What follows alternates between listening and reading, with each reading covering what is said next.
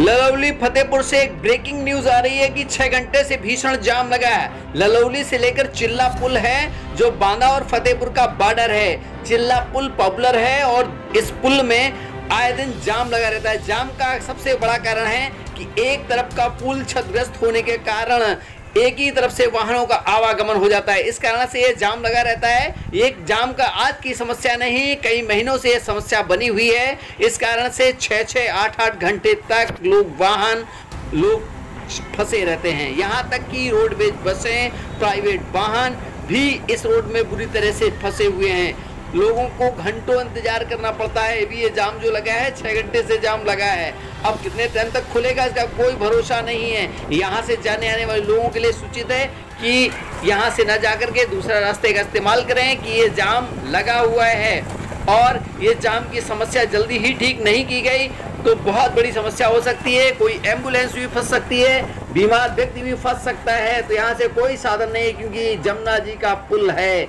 यहाँ पर लोग पैदल चल के क्रॉस करके जाम क्रॉस करने की